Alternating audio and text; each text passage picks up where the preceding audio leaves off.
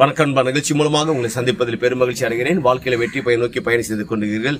இந்த பயணங்கள் நல்ல முறையில் வெற்றி பெற என் அன்பின் வாழ்த்துக்கள். நீங்க நல்லா இருப்பீங்க. இப்ப இருக்கிறதை பார்க்கலாம் ஆயிரம் மடங்கு அதிகமாகும்படி சேனைகளின் கர்த்த தாமை உங்களை ஆசீர்வதித்து உயர்த்துவாராக. நீங்க நல்லா இருப்பீங்க. நல்லா கவனிச்சு பாருங்கள்.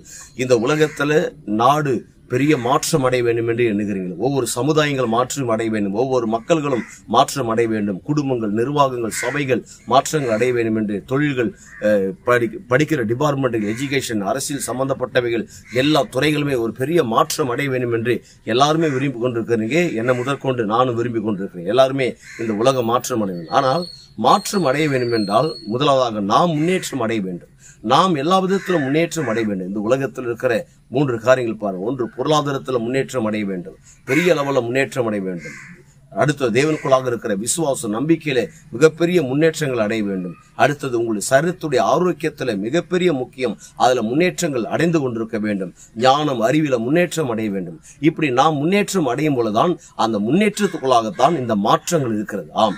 நீங்கள் நான் முன்னேற்றம் அடையவும் எதெல்லாம் மாற்றங்கள் சந்திக்க வேண்டும் நினைக்கிறீங்களோ அது ஆட்டோமேட்டிக்காக மிகப்பெரிய மாற்றத்தை ஏற்படுத்திவிடும்.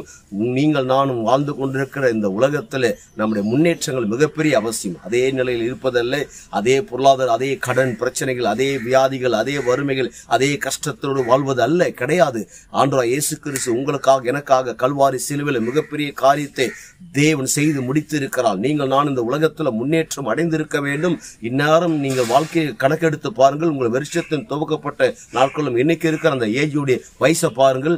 மாதத்தை பாருங்கள். வருஷத்தை பாருங்கள். எவ்வளவு தூரம் முன்னேற்றம் அடையணும்? ஒன்றும் கவலைப்படாதீங்க.